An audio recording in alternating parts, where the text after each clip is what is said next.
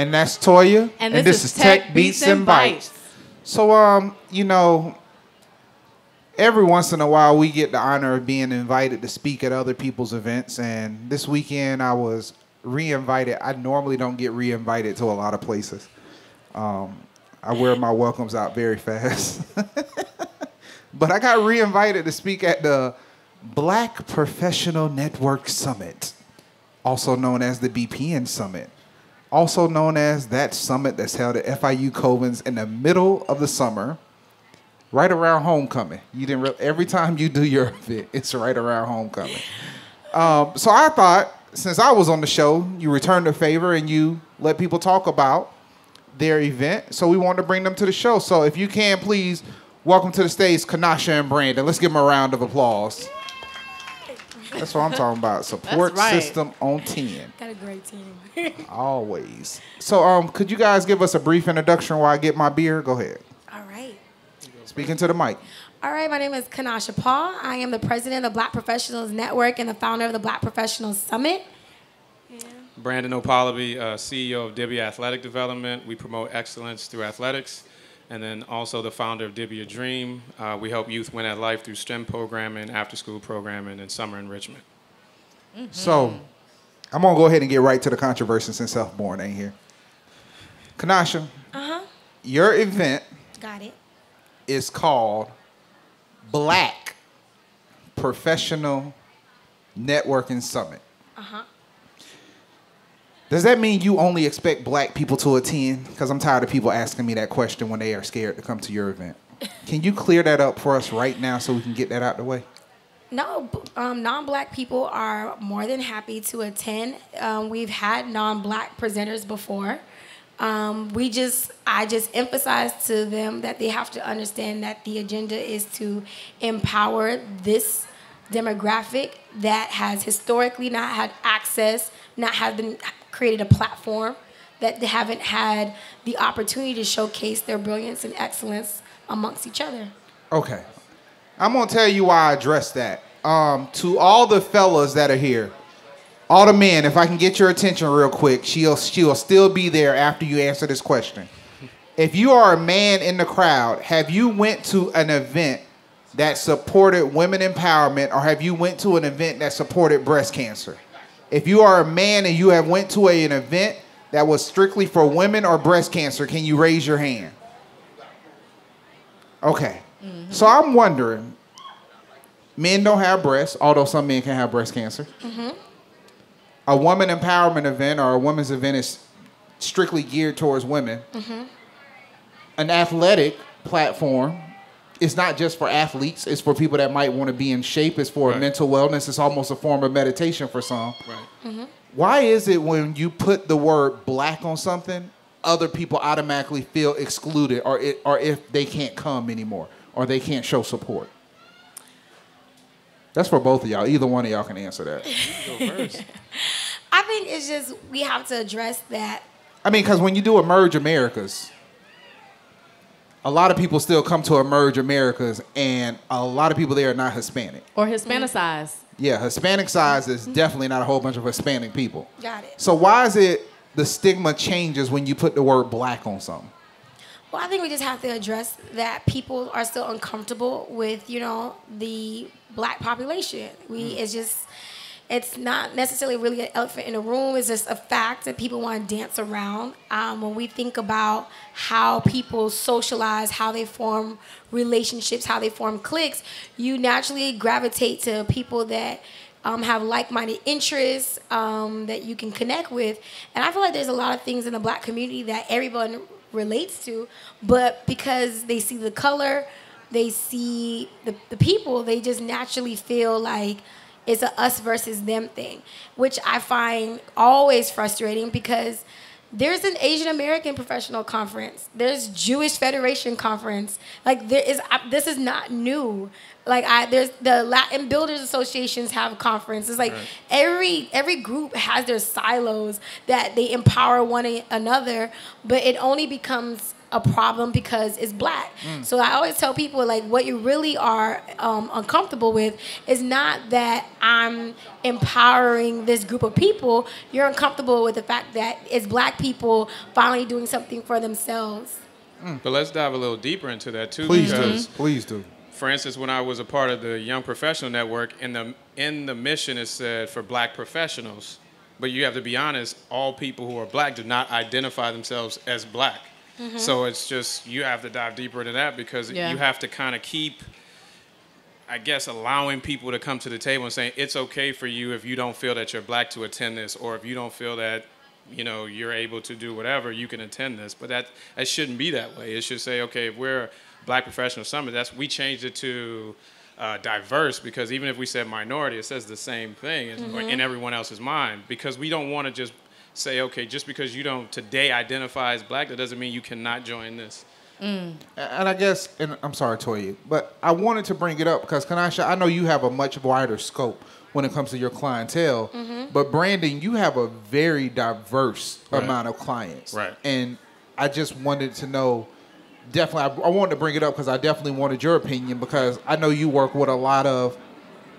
uh, I've seen influential young Right. white males and stuff in your programs. Right. So it's just like I, I don't understand the stigma that's being attached to this when both of you guys are pretty much in the community as a whole. Well, You- the funny you- thing about that too is that it's so interesting how everyone loves our culture. They love the culture. Mm. Hold they, up. they may not say that again. Say it again. Say it again. love the culture, but they may Right. not love us as people. Yeah. And Right. it's interesting, like, uh, she may see us or not, but one day I was training a child. He was not black, and, he was talking, and he said something. His mom came out, and she dabbed. Like, she just went right into it. And it was like, that's cool. Like, I don't see no problem with it, but it can't be you're able to do this and you enjoy this. But like we can't sit at the table. Mm. We can't have different conversations because we're black. But our culture and anything else that we've created and we do is mainstream. All of my kids who I train who are not black, they put me on music. Like when you're you go to the like the darkest, deepest website for mixtape, unreleased music, Oh, the white people are on it. and it's, it's Right, You right. got you got to respect. Like, hey, I, what's the name of that? Yeah, I need that. They- Right. they And that's the whole culture vulture conversation that exists, Yes. right? Yeah. Because Right. we know that there's cultural appropriation and everything. And to your point, it's interesting to sort of see how our culture can be consumed, but then they don't stand for things like Colin kneeling and they Right. knowing exactly why he's kneeling and not supporting that. And especially because you're in athletics, sort of how have you had conversations with some of your students about what Colin is doing and working around that whole situation? I haven't yet because of uh, many of the kids and now it's kind of shifted to a much younger audience who I don't think really understands it. And So they're not in the conversation And just yeah, yet. and they can't have that conversation. But I mean, it's very interesting how someone can protest here, and this is taken to a whole nother level. Right. He didn't do it. He didn't. He didn't. You know, he didn't even get a group of people behind him. He decided to kneel, and from the stories that's coming out, it was from a veteran who was white who told him this would be a better way to do it. So now there's all this uproar, but Right. now there's, you know, it's interesting to see Jerry Jones. I really thought he knelt during the anthem, but from what I get now is that he did that before. They did this before that. So it's like some of the stuff is being staged. Like you're not understanding. We don't have a problem. It's not the flag. It's it's a deeper issue. Don't don't minimize the the real problem. of Right. what we're addressing. So to bring that back to the community, when we address issues, um, things get real petty real fast. Right. Um, and Miss Paul, I heard at your event, just tell me what I heard. There was a particular elected official Everybody. that their name was not in your brochure or in your program. Okay. And due to their name not being in the program, they decided not to speak and they left. Ooh. Really? Why do our people have to be so petty instead of being supportive at times? Right. Okay. I don't know why people are petty, but I can give the backstory. Um, so uh, it wasn't a misprint. It wasn't an oversight. We did it's did an invitation. We I never got. I like this clarity, by the way. Okay. I like the clarity. That's why I'm asking. so it wasn't. I I'm really anal about my program book. So it wasn't a misprint. It wasn't an oversight. Yes, you send about 30 emails of I'm about to say you, yes, my I viewer know. speaker. You know, I sent a lot of emails. So um, I, um, we sent them an invitation. We never got confirmation that they accepted the invitation. So we were under the impression that they were not coming, and then um, their aide said that they were. And we made it clear that if they come, because I've worked for elected official, I know protocol.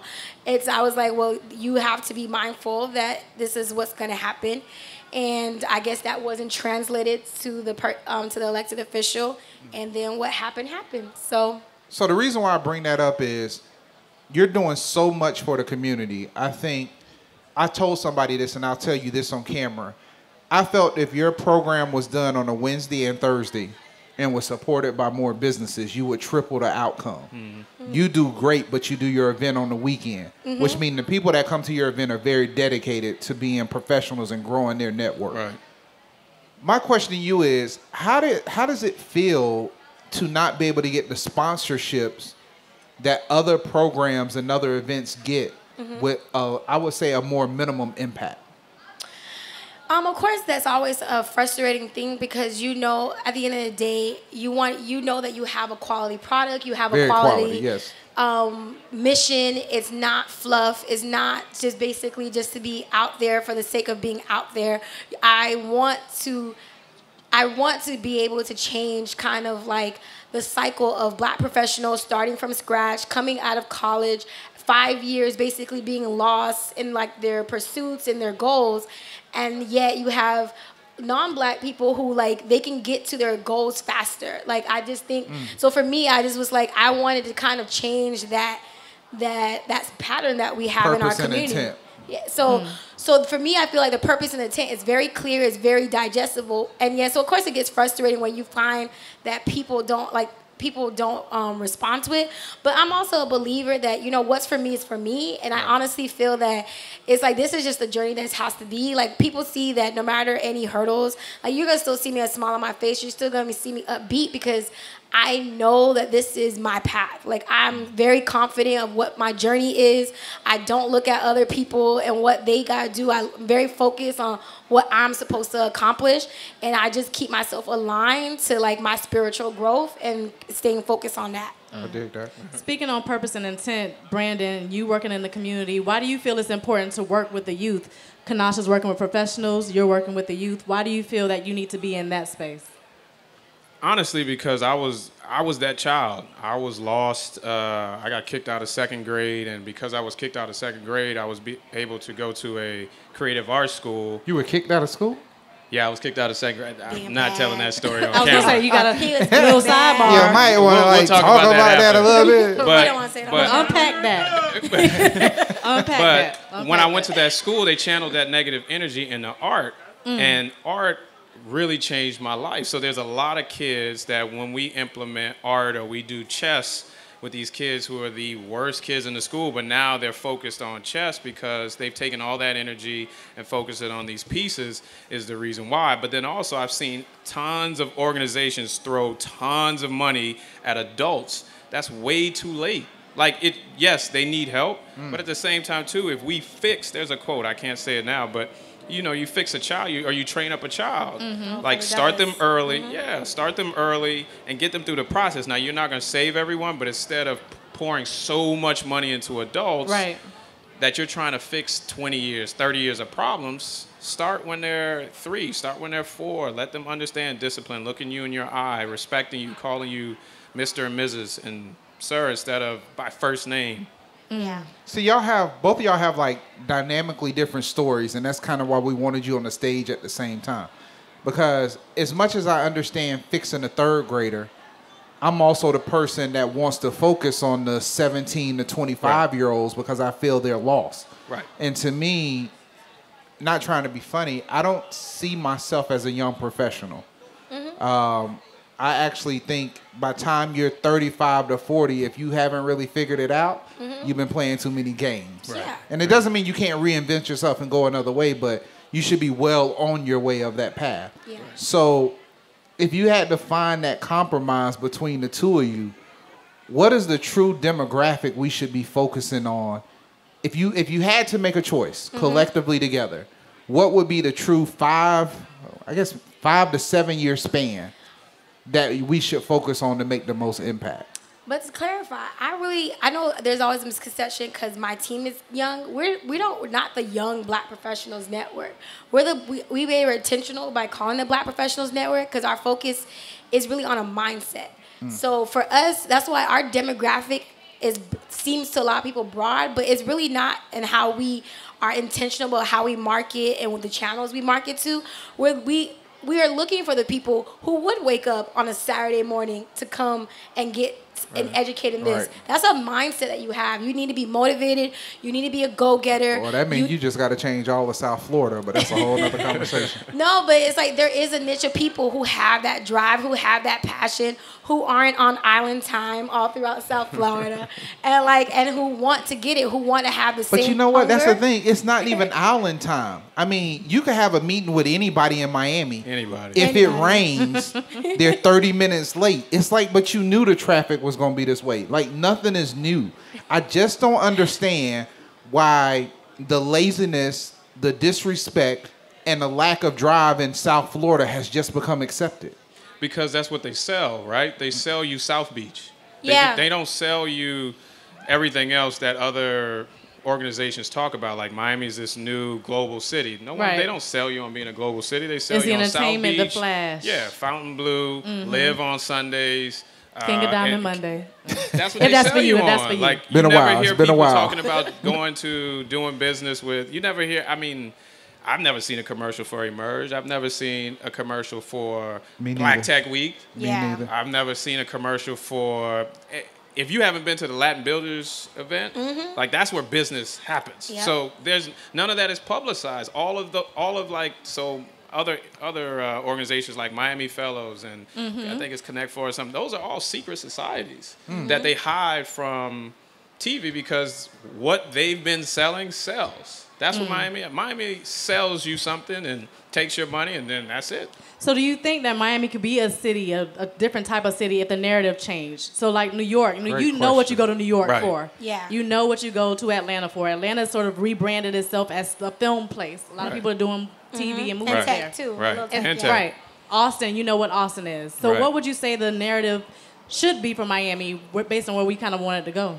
Miami, uh, we did a. I was a part of the Beacon Council Young Leaders Task Force, and this guy, we did this great event, and this guy spoke up, and he was the only person who said it. And when he said this, everybody went, "Oh, Miami needs to grow up. Yeah. Miami has to grow up. Miami cannot continue to want to be a certain way but not operate a certain way. We can't talk about transit for I don't know how long. I've been here 17 years. We still have a transit problem. Uh, but then we'll go through Miami Fells. We'll go to Colombia, and they they built a, a, the cable from the bottom of the ground to the top of the mountain. Yet we can't have transit. We can't fix transit. When I uh, graduated from UM, the job in De, uh, for Deloitte in Miami was started at fifty thousand. In New York and other places was seventy or 80 But then yet we're building every building and charging so much rent. Like we can't try to be New York of the South, but then we don't have certain things that New York Right, has. not really have the actual structure to Right. support that. Yeah. Right. Yeah. It's it's it's funny you say the whole thing with uh, Miami needs to grow up and Kenasha. This is kind of to your defense. If people like BPN, Digital Grass, if we stop doing events like this, everybody would say they miss it. of Right. course. Of course. But when you do events like You this, better get the support. everybody has a reason why they couldn't show up. Right. Right. I've had, and we've done it before. I've done the exact same events in Atlanta, in Philadelphia, in New York, and the response from people that I don't know, people that I don't see, from complete strangers, this same event would draw three times the amount of people in course. any other city. yeah, yeah. Of. What is it about Miami that this comfortable element of being lazy has warped us from the growth that we actually need? And yeah, I'm getting personal because I just want to put this out here. A little fun fact. Everybody calls and says either between the rain, the location, the heat, that they won't come out and support these events.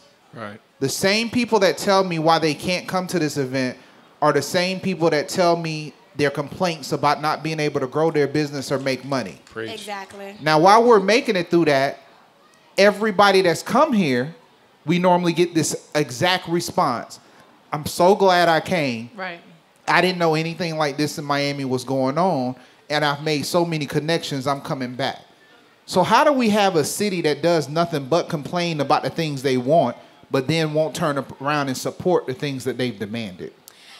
It just comes down to that we just have a one we've accepted the mediocrity. Like you know, mm. we've basically made it think like a status quo. Like Mediocrity is the status quo of Miami. no, it's so like if we had a status update, it would be like I'm on mediocre. yes, That's mediocre so, is it's me. so Real it's so it's so jacked up, but it's so true. So true. No, but it's like we just have to call it what it is. I'm not gonna sugarcoat it. I think at the end of the day, I have been in so many like forums, group chats where people are like, "Oh, they can't find a job. They don't know who a mentor. Like they, um, it's so hard to connect with people. I don't know where other black professionals are." And then when you have, and and not even for my event before, this was conversations that happened before I even did BPN. And there is like YPN who were doing events, and you had Urban League that were doing events. You had all these groups that were doing stuff to help kind of like help them and they weren't going to that but if it was a party or if it was a, a social i saw all of them there and i was You just right like Everybody. wasn't you just complaining about not having a Look, job and some of them Yeah. social networks was Tinder Live, boy. And the, I'm telling and the, if to- you Right. was single, you just went to a networking event. Right. But that's priorities. No, That's it is. Mindset and priorities. It is. So that's what I said. It's at the end of the day. That's why for me, when people ask like, "Oh, are you like for the young?" I correct them. I'm like, "No, I'm not. I'm looking for a mindset because I do believe that you can be late to the party. You could be 40 years old, and then yeah, being stuck in the Miami system, you you were caught up in partying and, and hanging out, and then you didn't click that motivation and passion in you. So then when you finally it clicks in you, I want you to be tapped in, and I want to be able to assist you in getting the resources and like the, and link you to the opportunities to help you go to your goal as if you weren't behind. And also, you know, it's like you mentioned, it's priorities. It's like just this weekend. You can use this weekend for example. Uh, at some points it rained. Uh, the Coven Center is far.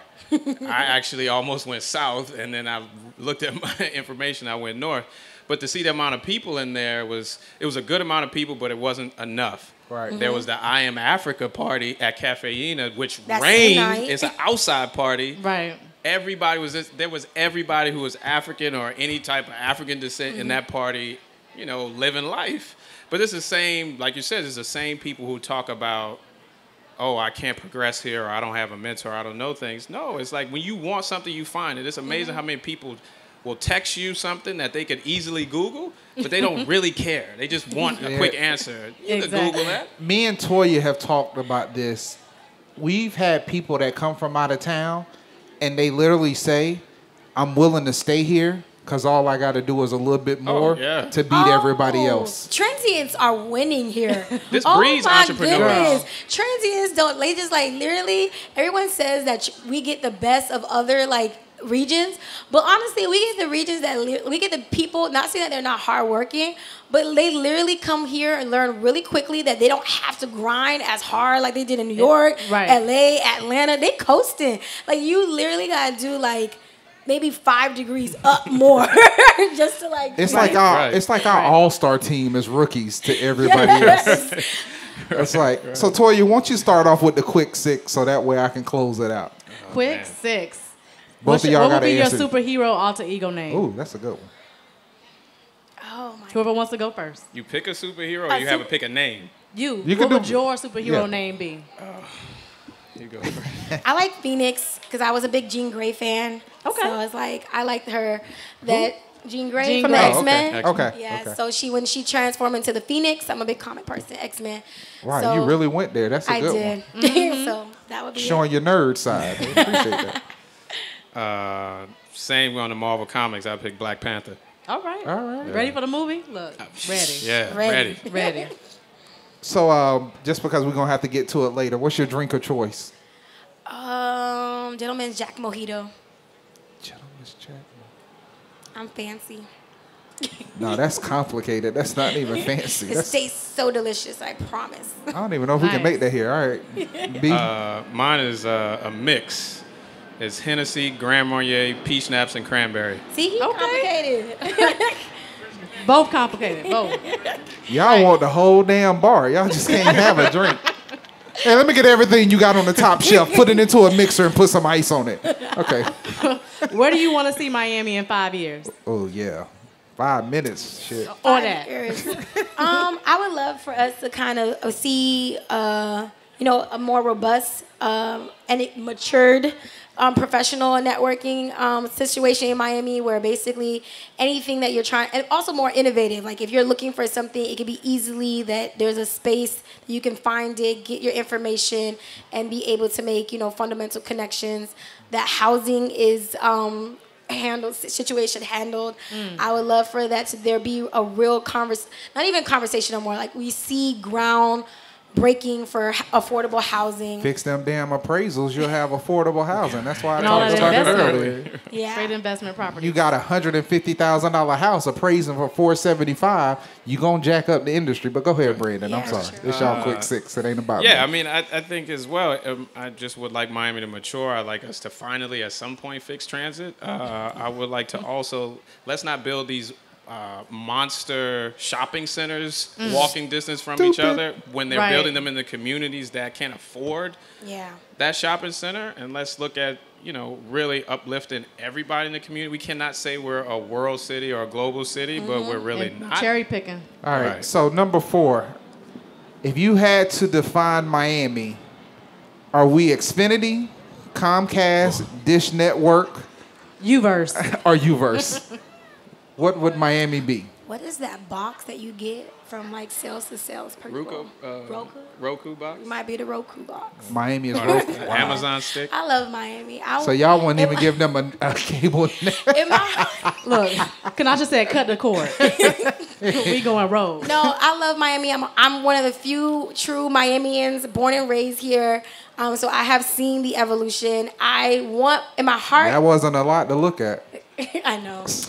Don't do us. Don't do us, my na- Miami natives. Look. I travel the world, so I still think that Miami has all. It's a young city. It's only It a hundred-year-old city. And it's a I young think city. it's growing quite fast for a city that is young. It's just like the problem is that we we're just not creating the infrastructure that we need to kind of sustain our growth. And I just think that just comes from a maturity and being more intentional of where we put our resources. I agree.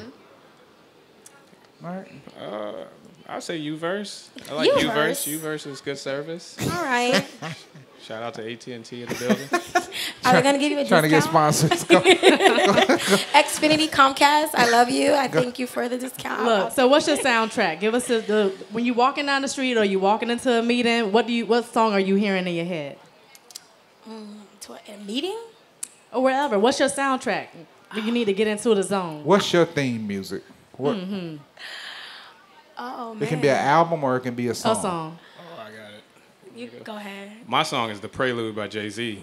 Um, just how he talks about being in corporate America, which I thought I wanted to be, and going all of that, and then stepping out on your own. Um, that's that would be the song, and then there's uh, uh, there's uh, "Ghetto Children" by Juvenile, and then That's um, right. New Orleans, all in your blood. Yeah, so that's probably my two songs that kind of just mellow me out before I go into a meeting or stuff Mm-hmm. like that because I think when going to meetings now it's a little bit it's a little bit of war right now. It is. Like Yeah. you're trying to get there's so many people after nonprofit dollars, there's so many Yeah. people after city uh, City grants, contracts mhm. and grants, and there's also people who had a meeting prior to you even coming in that meeting that you didn't know about. Shout out to the Knight Foundation for believing in us, though.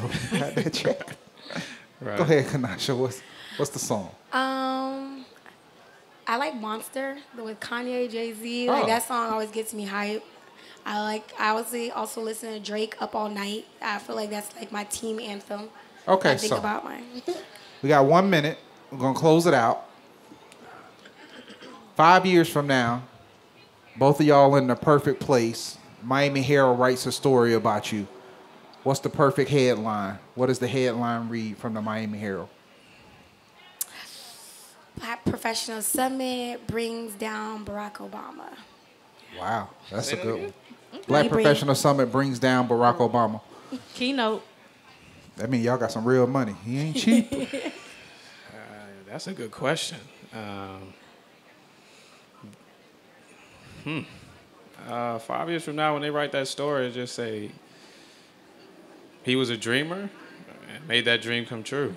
I don't know if they fit all that, but I hope he didn't That's it. die. That sounds That's like it. you died, Brandon. Huh? That'll Sound work. you're hey, he ain't gotta be dead. He just fulfilled the no, I didn't die. I mean, I, I And you our continue company's dreaming. called Yeah, Dream. you can right. dream. Yeah. He accomplished his Alright. dream. Steven Spielberg got a headline like that, and he ain't dead. You're He was a dreamer. He was a kid that wanted to make movies. and Right, he you do one dream and you do another Keep one. doing Right. it. Keep it moving. Right. So we know the bar can't make the drinks that they asked for, but won't y'all buy them a drink when they get off the stage? And let's give a round of applause to our guests tonight. Yes, thanks for Thank coming. you. And Thank once again, this has been another episode of Tech Beats and Bytes. So we'll catch you guys next week, and let's get into the overtime. We'll talk to you later.